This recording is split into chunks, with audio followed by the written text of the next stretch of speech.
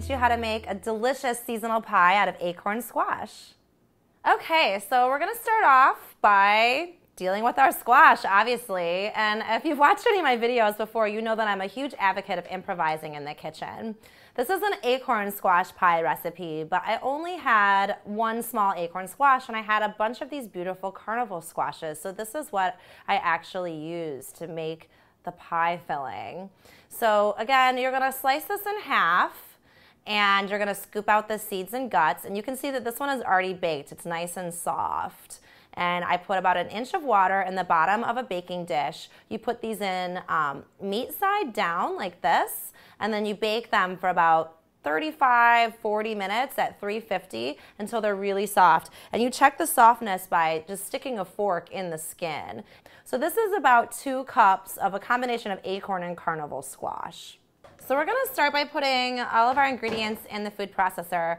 This is two and a half cups a combination of acorn and butternut squash. And then I'm gonna add about a half a cup of maple syrup.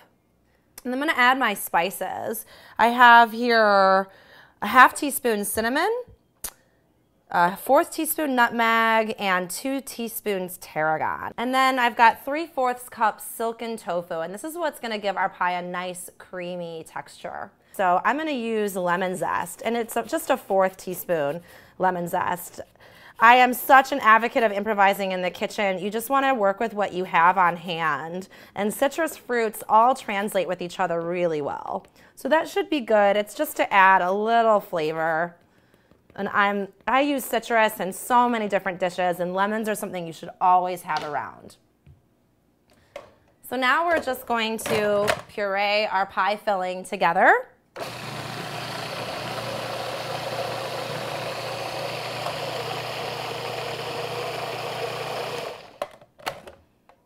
I'm gonna stir it a little bit. Mm, it smells yummy.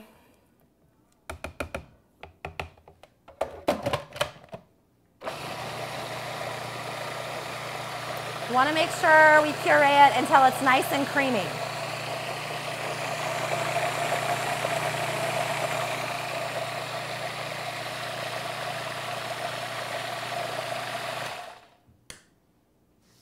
And then I have here one recipe for a vegan pie crust.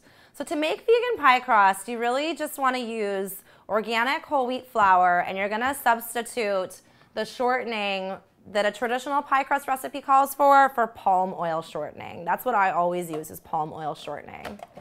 So now we're just to fill our pie. It's to pour the filling we made into our pie crust. This is a nine inch pie. You can also find vegan pie crust at any health food store if you're not a big baker. and honestly, I don't think that making crust is difficult. It's just rolling it out and getting it even, uh, an even thickness does take a little practice. I actually love making pie crust. I don't find it very difficult, but like I said, it does take practice. So there we go. Our pie is filled. Now we're gonna bake it at 350 for about 40 minutes. Thank you so much for watching this video about how to make acorn squash pie.